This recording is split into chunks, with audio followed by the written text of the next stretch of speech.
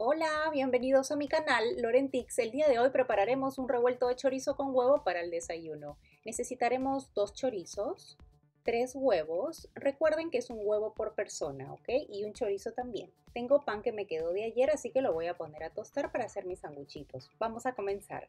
Voy a poner a calentar la sartén, que no tiene aceite porque no hace falta. Para mí el chorizo ya tiene grasa natural, así que con esa misma grasa se va a cocinar. Con unas tijeras o un cuchillo vas a cortar hacia lo largo del chorizo y vas a retirar la pielcita en donde vienen envueltos.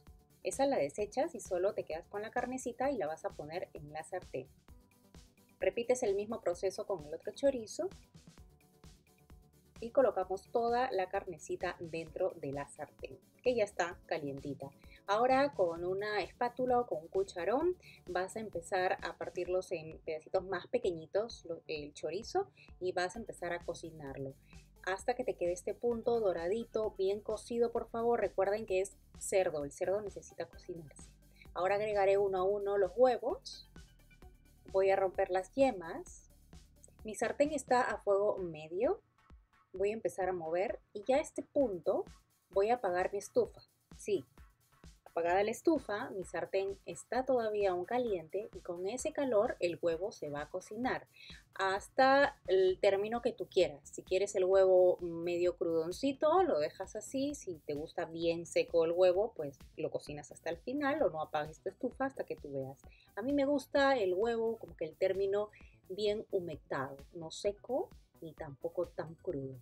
Ahora lo voy a poner en un recipiente. Lo puedes llevar a la mesa para que cada uno se sirva según su gusto. O eh, también puedes hacer los sanguchitos y también ponerlos en la mesa y ya cada uno se sirve. No es necesario ponerle ni sal ni pimienta porque para mí ya el chorizo es bastante sabroso, así que no necesita ningún aderezo y este es el resultado, a que no les provoca, está buenísimo y tiene un olor, uff, que no se imaginan. Espero les haya gustado, suscríbanse por favor, síganme por mis redes sociales, yo les traigo videos todos los miércoles de recetas. Ahora quiero que conozcan a alguien si es que son nuevos por aquí. Ella es mi pericotita, su nombre es Candy, es mi cotón de tuliar, le estoy invitando un trocito de huevo. Ella tiene sus propios videos los días sábados, pero me acompaña los miércoles en mis recetas para ustedes como hoy, probando algo saludable. Bye.